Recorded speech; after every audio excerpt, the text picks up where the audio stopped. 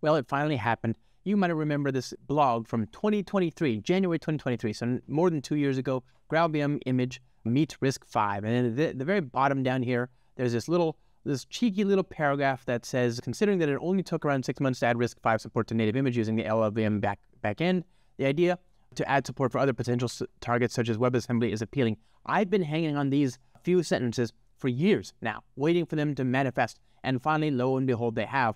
Today in Barcelona at wasm.io, Fabio Niephaus, Dr. Fabio Niephaus on the GraalVM uh, Oracle team, uh, joined by a colleague, announced a support for targeting WebAssembly via GraalVM.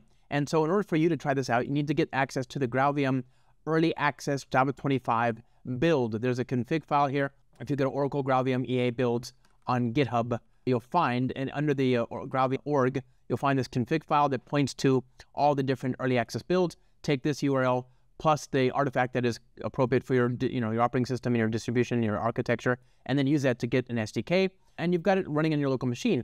You can do now with this with this stuff a lot of cool stuff, and actually they even have a Java in the browser compiler sort of thing. This is Java running on WebAssembly, running in the browser, and you can find out the code that we're going to look at right now here on my GitHub, Coffee Software Show, GraalVM, and WebAssembly. So let's go ahead and try this out. I've got literally hello world, right? There it is, okay? And uh, what we're going to do is we're going to build this into a class. So we say java main.java, okay? And you can come, and we can also confirm that it's running in the J JVM like that.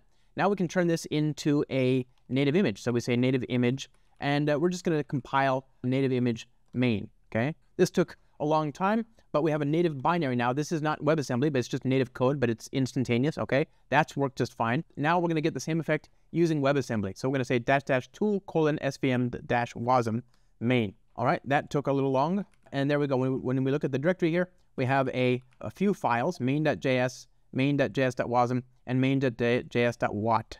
And if you look at the, um, the files here, all three of them, uh, you can see that they're, they're pretty hefty. The main.js.wat is 24 megs.